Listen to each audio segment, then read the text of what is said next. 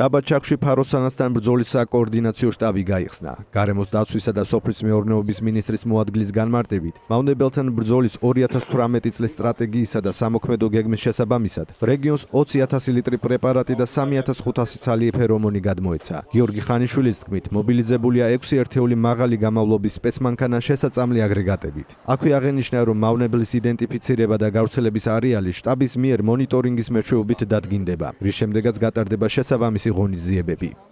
უახლოეს დღეებში დაიწყება ფერომონების ინტენსიური განთავსება საქართველოს მთლიან პერიმეტრებზე, რომელიც განსაზღვრულია წინასწარ და ვარაუდობთ, რომ 10 დღე ორი კვირის ვადაში ჩვენ მივმართავთ საქართველოს მოსახლეობას, რათა დადგენილი პარამეტრების მიხედვით დაიწყოს აზიური ფაროსანის წინააღმდეგ ერთობრძივი ბრძოლა, როგორც სახელმწიფომ, ისევე თითოეულმა მოსახლემ. ფიქრობ, ეს არის კოორდინირებული მუშაობა სოფლის სამინისტროსა და აჭარის ხელისუფლების, უშუალოდ მუნიციპალიტეტების და ზუსტად დღეიდან ეფექტური მუშაობა დაიწყება ჩვენს რეგიონში.